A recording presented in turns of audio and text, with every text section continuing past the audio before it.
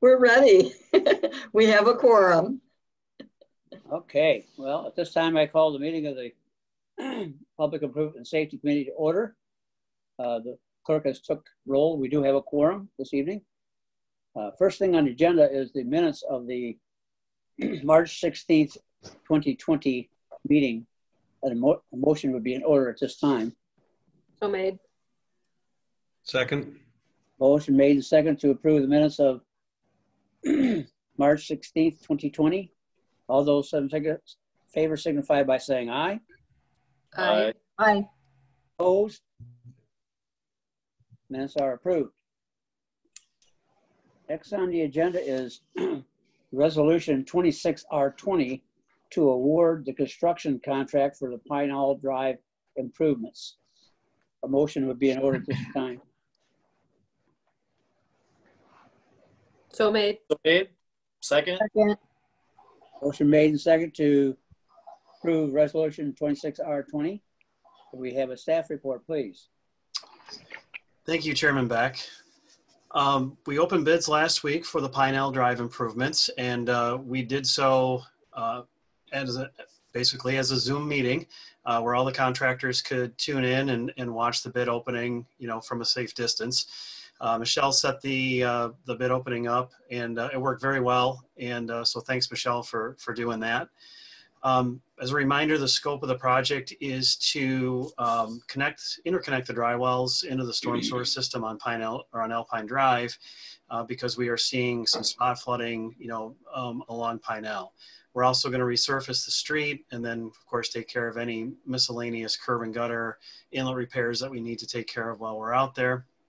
Uh, we had a total of nine general contractors uh, procure bid documents. That's quite a few uh, and five generals uh, submitted bids for the project. Bids range from 209,000 to new 294,000. Uh, my estimate was 266,000. Uh, low bid was 209. So obviously we, we got a very good bid result. Um, hopefully that will, that will continue. Um, so at this time, we recommend that the project be awarded to Northern Illinois Service Company, who is our lowest responsive responsible bidder. Uh, assuming approval tonight and at tonight's board meeting, um, construction would begin in mid-May and would be substantially complete around the 4th of July. There'll probably be a couple punch list items that need to be taken care of after the 4th, but for all practical purposes, life would be back to normal for the residents by the 4th. And with that, I'll entertain any questions. Does anyone have any questions of Chris? Any, anyone on the committee have any comments? Hearing none, we'll take a vote. All those in favor of resolution 26R20 to award the contract to Northern Illinois Service Company at $209,444.66 signify by saying aye. Aye. Aye. Opposed? That passes with a positive recommendation and we'll go to tonight's board for appropriate action. Next on the agenda is Resolution 27R20, authorizing the engineering services for the 2020 pavement maintenance program. Motion would be in order at this time. So made.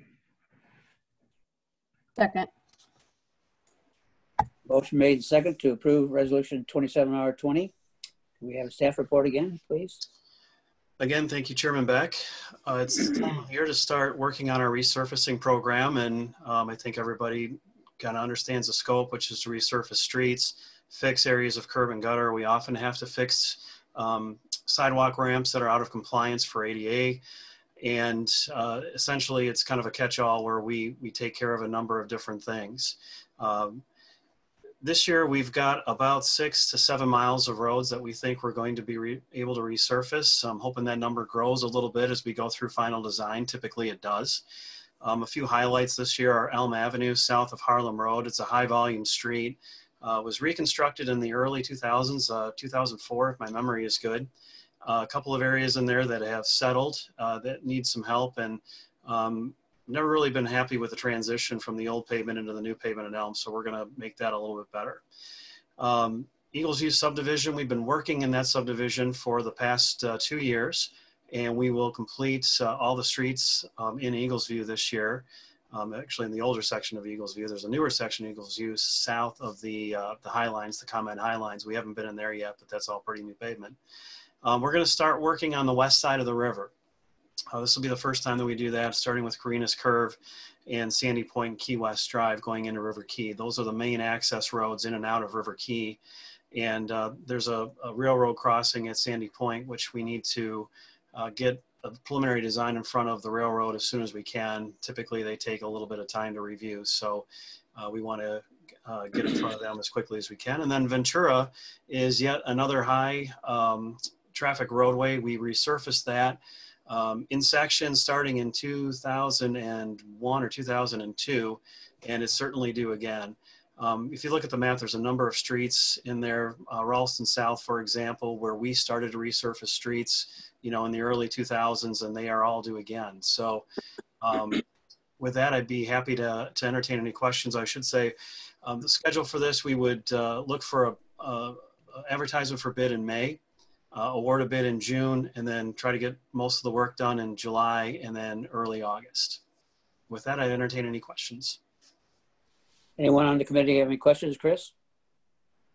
Hearing none. Any committee, committee members have any comments? Hearing none, we'll vote. All those in favor of resolution 27R20 to auth- authorize engineering services for the 2020 pavement maintenance program to McMahon and Associates signify by saying aye. Aye. Opposed? That passes, and we'll go on to the May 4th meeting for appropriate action. Next on the agenda is, is reports. Does anyone have any reports? Hearing none. Lori, do we have any comments from the public? And at this time, we have no written or um, uh, emails, uh, no comments uh, submitted prior to the meeting. But the public is uh, permitted now to call in if they wish to speak to the Public Improvement and Safety Committee. The number is uh, displayed on the screen. And we'll leave the line open for one minute.